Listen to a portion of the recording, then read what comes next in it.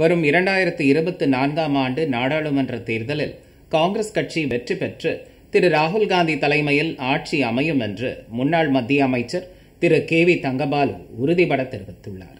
எழுபத்தைந்தாவது ஆண்டு சுதந்திர தின விழா கொண்டாட்டத்தின் ஒரு பகுதியாக வேதாரண்யத்தில் கடந்த ஆயிரத்து தொள்ளாயிரத்து முப்பதாம் ஆண்டு நடைபெற்ற உப்பு சத்தியாகிரகத்தை நினைவு கூறும் வகையில் தமிழக காங்கிரஸ் கமிட்டி சார்பில் முன்னாள் மத்திய அமைச்சர் திரு கே வி தங்கபாலு தலைமையில் திருச்சியிலிருந்து வேதாரண்யத்திற்கு உப்பு சத்தியாகிரக பாத யாத்திரை கடந்த பதிமூன்றாம் தேதி தொடங்கியது.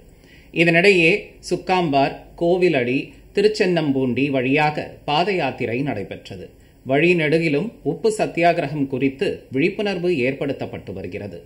பாத யாத்திரையின் போது பேசிய முன்னாள் மத்திய அமைச்சர் Thiru. K. V. Thangabalu India முழுவதும் மதுவிலக்கு அமல்படுத்தப்பட வேண்டும் என்று கூறினார். வரும் இரண்டாயிரத்து இருபத்தி நான்காம் ஆண்டு நாடாளுமன்ற தேர்தலில் காங்கிரஸ் கட்சி வெற்றி பெற்று திரு ராகுல்காந்தி தலைமையில் ஆட்சி அமையும் என்றும் திரு தங்கபாலு உறுதிபட தெரிவித்துள்ளார்.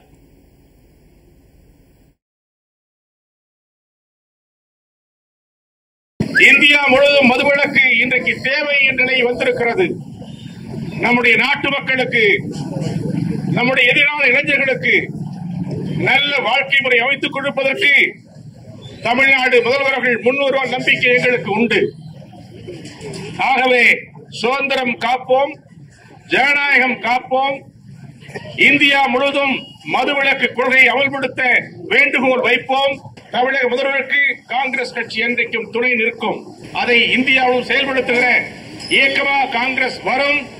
வரும் காலத்திலே காங்கிரஸ் தலைமையிலே மத்தியிலே நல்லாட்சி வரும். இரண்டாயிரத்தி இருபத்தி நாலிலே தலைவர் ராகுல் காந்தி தலைமையிலே அந்த ஆட்சி அமைப்போம் என்பதை தெரியப்படுத்தி அதற்கு தேசிய சக்திகளை மதசார்பற்ற சக்திகளை ஒருங்கிணைக்கும் முகத்தான் இந்த பாத யாத்திரை திட்டத்தை நாம் அமைத்திருக்கிறோம்.